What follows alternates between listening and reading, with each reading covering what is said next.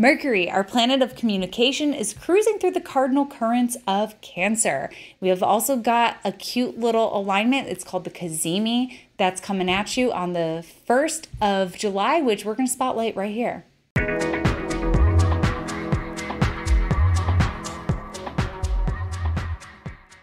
On June 26th, Mercury, our planet of communication, enters the watery, receptive, caring sign of Cancer. And Mercury's still moving very fast, folks. So Mercury's only going to be in this caring sign of Cancer through July 11th. So we've got just, you know, a little over two weeks here to soak up the juiciness that this transit can offer. But even though it's going to be a speedy transit, there is a lot happening here. Mercury is a very busy little planet moving through the sign of Cancer. So let's break some of this down here. So Mercury in Cancer is going to offer us the ability to be silent, to be still, and to listen. Mercury in Cancer is emotional intelligence, being able to listen to what are these feelings telling me right now. I'm doing a lot of this. I'm getting a lot of practice as I have a three year old.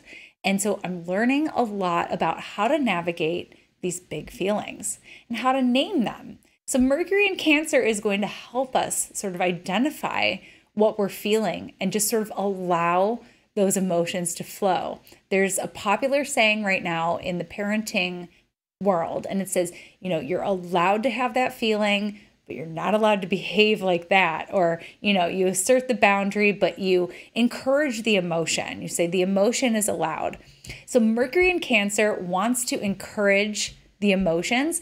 And because Mercury is the sign of it, it is a planet of reason, of intellect, um, of making sense of what's happening. Mercury in Cancer is so skilled at that, at making sense of what we're feeling and trying to understand it. So, emotional intelligence is the, your keyword for Mercury in Cancer. But what does that mean for us? And how can we really take advantage of it? So, one of the things that I love about Mercury in Cancer is that Mercury in Cancer people have an album for everything.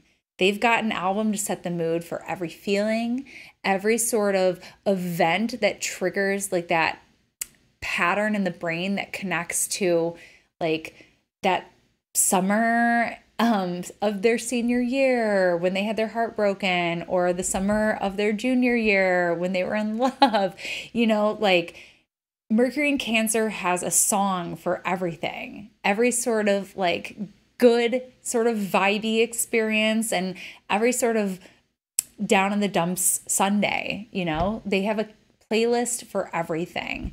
So Mercury in Cancer is going to help us maybe find some new music and maybe even go down memory lane, like revisit your old playlist from back in the day and and let let it flow, let those emotions flow.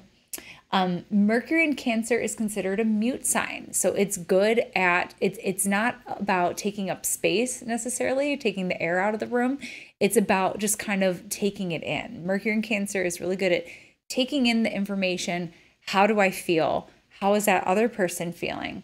So, some key things to take away from Mercury in Cancer is nostalgia. It's going to be a big one receptivity and listening. And then there's like an artistic sort of non verbal component that Mercury and Cancer can really get into. In other words, what is that painting evoking for me? What is that key change in that song evoking for me? What is this vibe that I'm feeling on this summer day in this busy park full of people and families living up and celebrating their lives what does what does that feel for me? So like mercury in cancer is so much about what's felt. What is felt and that can't easily be communicated with words but the poets try the poets try. So here in mercury in, in cancer land we're going to have a cazimi, where Mercury aligns with the heart of the sun. So this is going to happen on June 30th if you're on the west coast of the United States or further into the Pacific. It may also happen um, if you're on the east coast of the United States or further east, like in Europe or Asia or Africa, you're going to be getting um, this cazimi on July 1st. This is going to be happening at 9 degrees Cancer. And so, if you're following the Hellenistic definition of cazimi, it's going to be within that 10th degree, which is technically 9 degrees and some change. Um, or if you're following the medieval definition of 17 minutes of a degree, you're going to have a little bit of a tighter um, window. So, you're going to want to take a look at that for yourself. But it's largely going to be experienced a little bit quicker because this is Mercury's moving retrograde. So we've got the sun applying, mutually applying to Mercury. So Mercury is also running into the sun. So this cazimi, the window is a little bit shorter, but don't worry unless you're using this cazimi for something like magical potentially then you don't have to worry so much about doing something intentional within that moment some people like to meditate during the cazimi to kind of like notice that message, grab onto it. But I've noticed in my practice, because I've had moments in my practice where I'm able to sit and meditate during these cazimis. Right now, my hands are a little full with two little ones. So I've noticed that, you know, that that cazimi message doesn't necessarily arrive during that cazimi. It can arrive later. It can arrive when you're in that hypnotic driving state in the car can happen when you wake up in the middle of the night and you're rocking a baby or you just can't go back to sleep. It can happen there. It can happen when there's chatter going all around you and you're just like, it clicks. The cazimi message is a little quieter. It's a little, you know, remember, Mercury is obscured by the sun, it's in the heart of the sun. So it's similarly, it's happening quietly within us. It's not always this loud, um, noticeable light bulb that's going off. Sometimes it's real subtle, but that subtle realization, that subtle shift can can create some big waves for us in our life. Um, so this cazimi is special because it is in a trine with Saturn. So we're gonna see the sun and Saturn in in a trine. Um, or I'm sorry, we're gonna see the sun and Mercury both in a trine with the sun. So that's going to be happening. Let's see here. Let me get those dates. Um, it's going to be happening a little bit before. That's going to be happening on the 28th and the 30th. The 28th for the sun and the 30th for Mercury.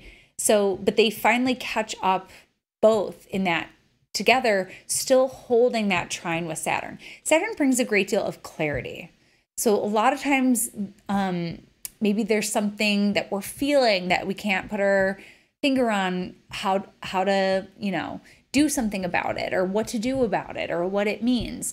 Saturn brings that clarity. This is also happening in the sign of the moon. Cancer is ruled by the moon. The moon deals with magic. The moon deals with intuition. So saturn is also going to help clarify that for us. So look at your cancer house um, there hasn't been too much drama going on in the cancer house. It's been pretty quiet, but nonetheless, there's still this really cute, potent little Mercury Sun alignment in this very clarifying trine, this very supportive trine from Saturn, which can help clarify whatever we're supposed to see from that. It can also help us materialize it to to bring it into actuality.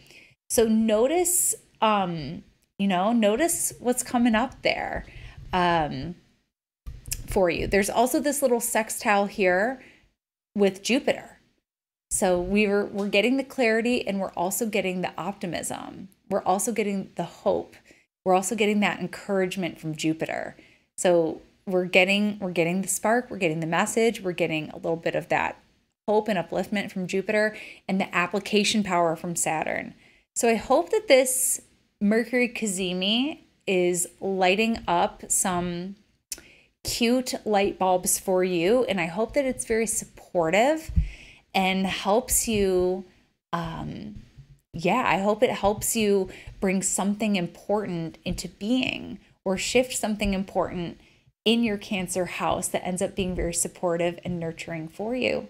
And that was your Mercury cazimi, Mercury in Cancer astrology shot of the day. And I'll catch you next time. Bye. Thank you so much for tuning in with me today. Timing with Transits, my 11 week mentorship and predictive technique begins on September 21st. We're covering transits, we're covering profections. We've got a blend of live and pre recorded tutorials and ongoing support throughout the program. So if you want more information on that or you want to snag that early bird rate, head to my website, catherineurban.com.